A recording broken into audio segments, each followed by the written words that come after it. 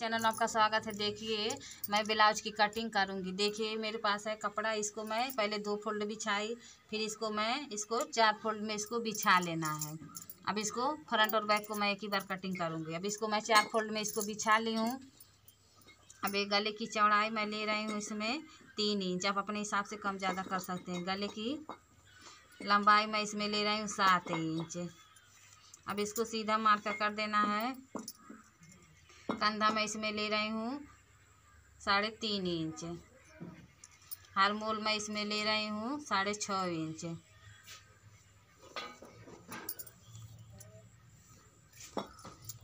सीना इसमें मैं ले रही हूँ दस इंच, ये चालीस का बनेगा।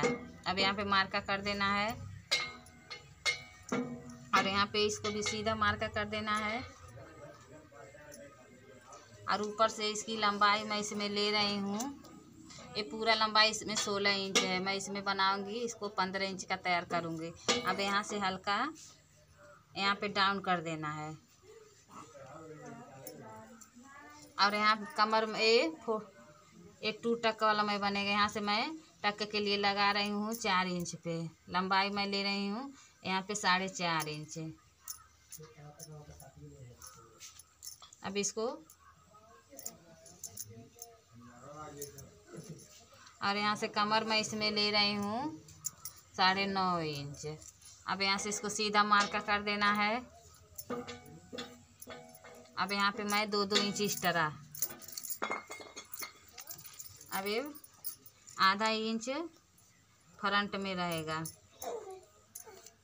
अब यहाँ पे हर मूल की गोलाई बना देना है। आ, आधा इंच अंदर के साइड डाउन कर देना है। और यहाँ पे मैं गला बना रही हूँ इसमें। यहाँ पे मैं बना रही हूँ बी गला।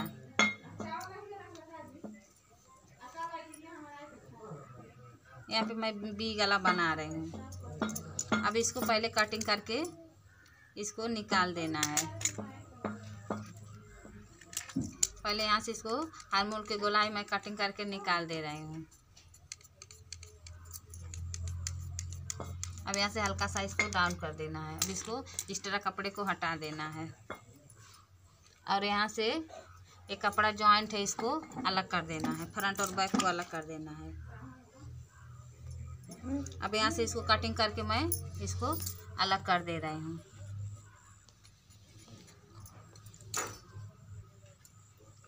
अब ये फ्रंट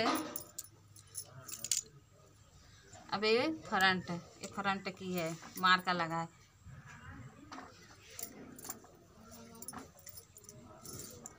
अब इसको गले को मैं इस साइड में इसमें मार्का कर देना है। यहाँ पर भी इसमें मार्का कर देना है।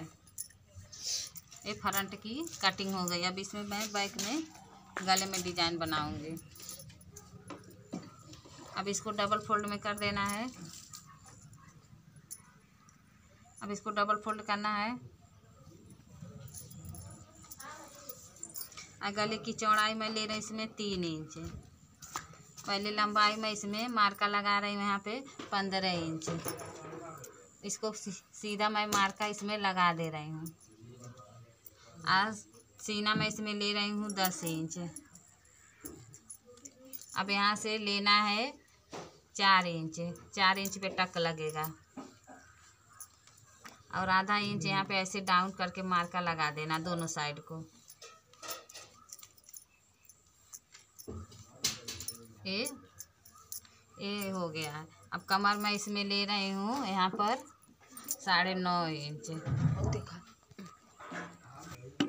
अब इसकी गले की लंबाई मैं बैक में ले रही हूँ उसमें दस इंच। आप अपने हिसाब से कम ज़्यादा कर सकते हैं। अब यहाँ पे सीधा मार्क मार्का कर देना है। अब यहाँ पे सीधा मैं मार्का कर दे रही हूँ। यहाँ पे मैं ये ले रही हूँ गले की लंबाई यहाँ पे ढाई इंच। अब इसको यहाँ पे एक बॉक्स बना देना है इसमें मैं ऐसे मार्का कर देना है इसमें। अब इसका सेंटर निकालना है, इसमें मैं ले रही हूँ यहाँ पे चार इंच। अब यहाँ पे एक मार्का कर देना है। अब यहाँ से इसको मैं इसमें डिज़ाइन बनाऊँगी। अभी ये इसका गला मैं इसमें बना रही हूँ। अब गला अपने हिसाब से बना सकते हैं। मैं इसमें ये वाला गला बना रही हूँ। अभी मार्का लग गया। अब इसको और ये इस फ्रंट और ये है बैक। दोनों में मैं मार्का लगा दे रहा अब ये है इसका कपड़ा मेन इसको रख के इस पर पहले कटिंग कर लेना है। अब ये इसमें बाजू की